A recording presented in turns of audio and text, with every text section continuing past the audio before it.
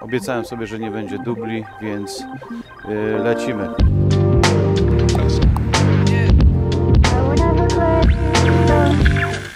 Proszę Państwa, dziesiąta kadencja Sejmu Rzeczpospolitej.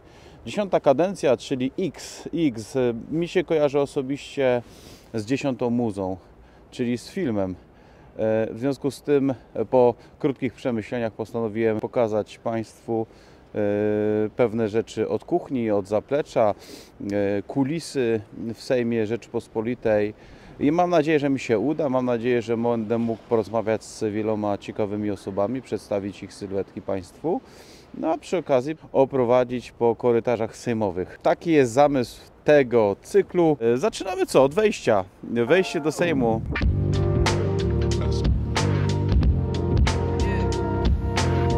Jest co pokazywać, wiele smaczków. e, No i e, właśnie tak jak wspomniałem, najfajniejsze rzeczy dzieją się od kuchni.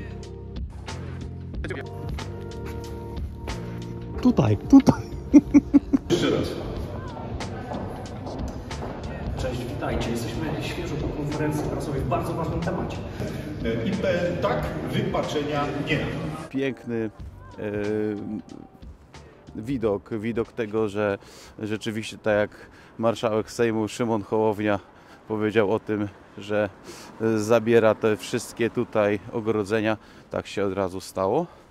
E, My w tym momencie będziemy sobie wchodzić do Sejmu.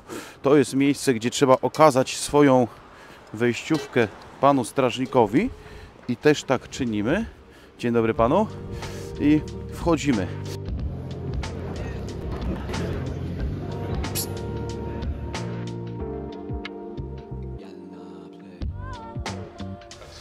I co, jesteśmy teraz na, na terenie Sejmu Rzeczpospolitej Polskiej. Wchodzimy tutaj i będę chciał właśnie małe co nieco pokazać. Zobaczymy. Będzie to tak zwany odcinek testowy.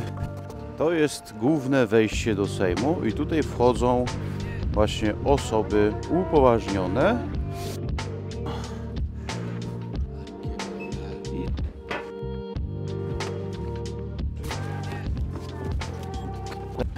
I udajemy się do miejsca, w którym będzie można, dzień dobry, e, sobie spokojnie usiąść, edytować to, co tutaj wyrzeźbimy.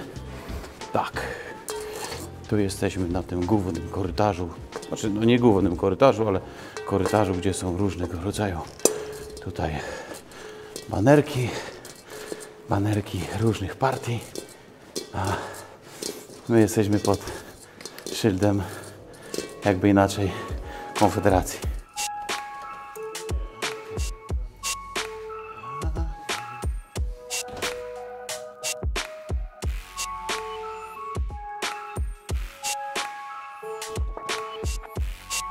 I tak znajdujemy się w pokoju 126 i tutaj swoje miejsce ma biuro prasowe Konfederacji Wolność i Niepodległość. Tutaj dotychczas było też biuro prawne, ale z racji tego, że y, jest więcej posłów, ten przydział na posłów y, i miejsc w Sejmie został po prostu powiększony.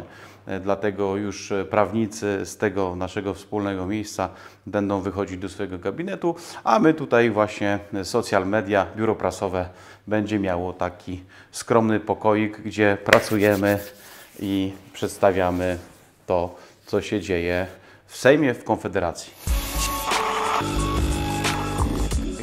A to jest ten korytarz sejmowy, ten główny korytarz sejmowy, podczas którego tutaj właśnie przychodzi się od miejsc, gdzie mają niektóre partie swoje biura, swoje gabinety, do tak zwanego miejsca, gdzie są stoliki. To jest miejsce właśnie, gdzie są te wszystkie konferencje, które Państwo widzicie, czy to w internecie, czy to w telewizji. I tutaj zrobimy sobie taki flashback tego wszystkiego, co miało miejsce podczas otwarcia dziesiątej kadencji Sejmu, czyli ten cały galimatias, dziennikarz na dziennikarzu, kamerę, operator na operatorze. To było tutaj. I teraz przejdziemy sobie do stolików.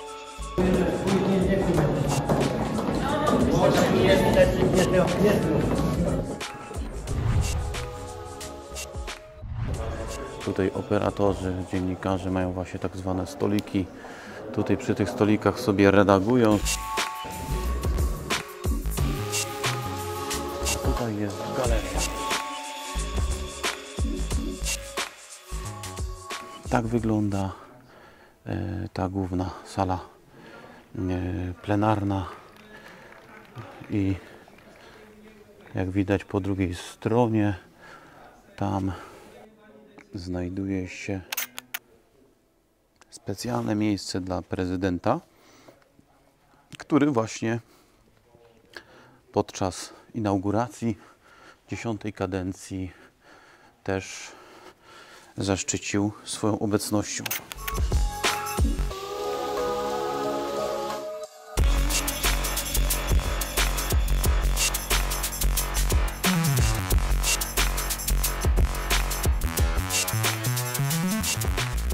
No i tutaj na przykład w Senacie odbyła się sesja zdjęciowa na dzień dobry Konfederacji. Podsumowując po- początek od kadencji, wiadomo, kto się zaczął interesować lub się interesuje, to widział, co tam miało miejsce, jakie tam e, cyrki niektórzy posłowie odprawiali. E, Tak to jest właśnie w tym miejscu, że niektórzy nie potrafią zachować e, kultury e, i zachowują się jak małpy w zoo.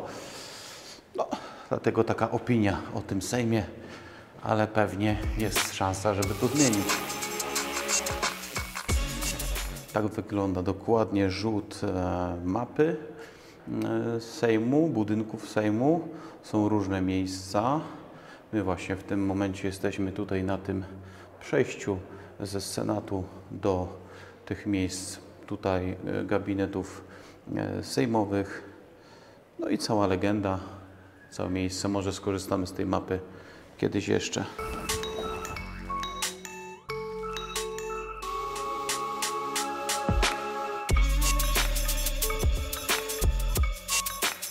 Idziemy w teren. Ze mną Krzysztof Grzońca.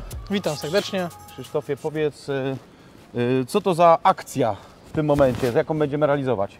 Idziemy pod KPRM po to, żeby nasi posłowie powiedzieli premierowi Mateuszowi Morawieckiemu, co myślimy o 8 latach jego rządów i w imieniu przewoźników, którzy walczą na wschodniej granicy, zabrać głos i poprosić o ostatnią realizację interesu narodowego, zanim e, premier odda władzę, bo to już jego ostateczny koniec. Jesteśmy przed przejściem granicznym w Dorochusku, gdzie trwa protest branży przewozowej. Kolejny protest, blokada granicy. E, Wytworzyła się wielka kolejka aut, przede wszystkim ukraińskich i jest to tak naprawdę działanie odwetowe związane z tym, że strona ukraińska stworzyła system kolejki dyskryminujący polskich e, czy w ogóle unijnych przewoźników, tak zwaną e-kolejkę, w której nawet puste auta, mimo że kiedyś były przepuszczane przez osobne przejście, teraz muszą wiele dni stać i czekać. E, Rozmawiamy tutaj na miejscu z przewoźnikami, z właścicielami ciężarówek, z tymi, którzy prowadzą ten biznes. E, To, co jest uderzające, to że oni mają wrażenie, że polska administracja i polski rząd reprezentuje interesy ukraińskie, a nie polskie. Osobiście nie jestem tym zaskoczony, natomiast mamy jedno proste przesłanie. To się musi zmienić. Krzysztofie, mam jeszcze takie pytanie, żebyśmy mogli sobie podsumować pewną rzecz. Co wydarzyło się od, podczas, e, od czasu, kiedy zaczęła się już dziesiąta kadencja? Jakie takie ważne punkty, można by powiedzieć, mm, się odbyły? E, Co się w tym momencie dzieje w Sejmie? E, Chodzi mi o mm, komisje e, i jakby te takie planowane rzeczy, które po zakończeniu których będzie można już normalnie funkcjonować i, i, i pracować. Aktualnie cały czas czekamy na nowego premiera. Premier Morawiecki rozpaczliwie szuka koalicjanta, ale niestety nie znajdzie tego koalicjanta. Konfederacja nie zamierza poprzeć ani rządu Mateusza Morawieckiego, ani rządu Donalda Tuska.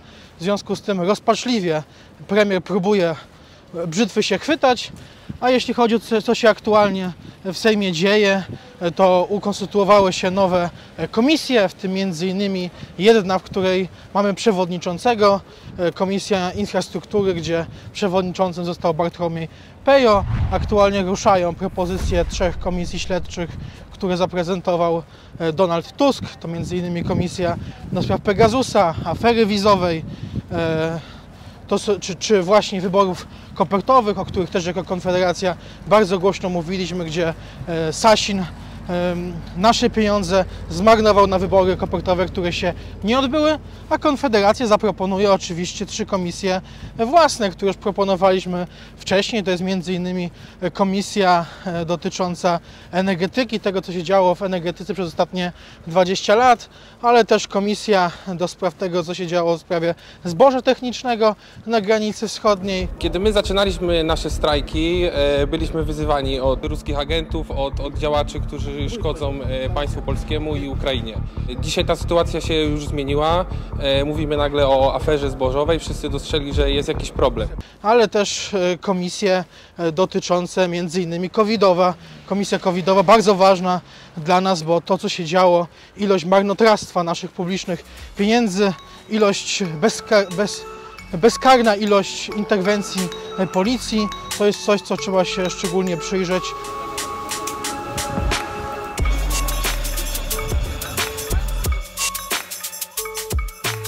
A i Kulisy oczywiście, wszystkich interesują najbardziej, nie? o właśnie, Krzysztof powiedział, nie wiem czy się nagrało, że, że co? Że kulisy wszyscy lubią najbardziej. WHO chce przejąć władzę nad y, bardzo ważną dziedziną życia od suwerennych państw narodowych, czyli władzę, którą do tej pory e, dzierżył parlament wybrany w demokratycznych wyborach i wyłoniony przez parlament rząd i Ministerstwo Zdrowia. Proszę pana, w ramach trybu interwencji poselskiej nie musimy uprzedzać o naszej wizycie. Tak, wszyscy lubią kulisy, także my do tych kulis zapraszamy. Można oczywiście, jeżeli Państwu się podoba, e, chcielibyście kolejne e, takie akcje widzieć, e, kolejne takie nagrania, takie realizacje, to po prostu komentujcie, wyrażajcie swoje opinie. Łapki w górę, obserwujcie tą kamalarę. No, widzicie, widzicie, już Krzysztof, Krzysztof, a Ty subskrybujesz mój kanał? Zaraz będę. No i właśnie, od czegoś trzeba zacząć.